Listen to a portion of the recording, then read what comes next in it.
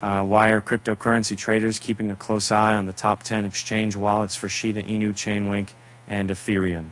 Lately, these wallets have seen a significant decrease in their holdings since May 27th, with SHIB's exchange supply shrinking by 2.4%, Link by 2.9%, and ETH by a substantial 8.6%.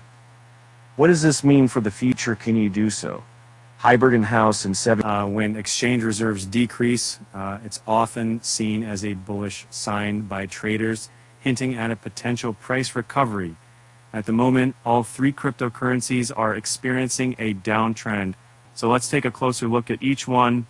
Uh, starting with Shiba Inu, the price at the time of writing was 217.17, showing a 0.38% increase on Friday, June 14th. Uh, if SHIB can surpass the resistance level of $22, wild 5 10%, or everyone revised maybe new $28, powerful of mere $2,003, then there's also a little software. Both of these prices are defined at off the brand. And that's the brand. According to technical analysis, SHIB might be entering a consolidation phase. The MACD indicator shows a convergence towards the signal line, suggesting a possible slowdown or reversal in momentum.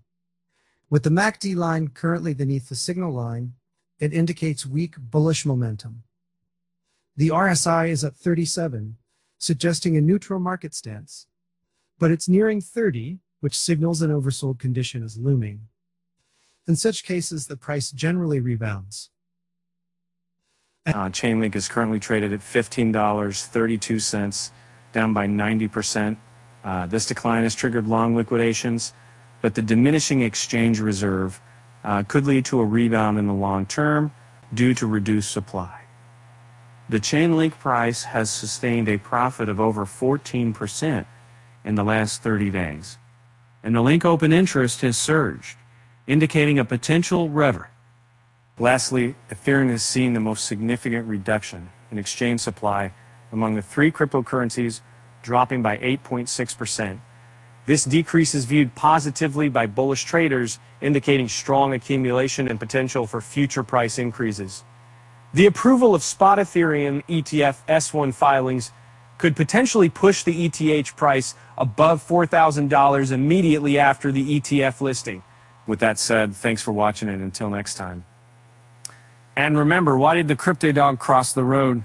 To fetch the decentralized bone, of course.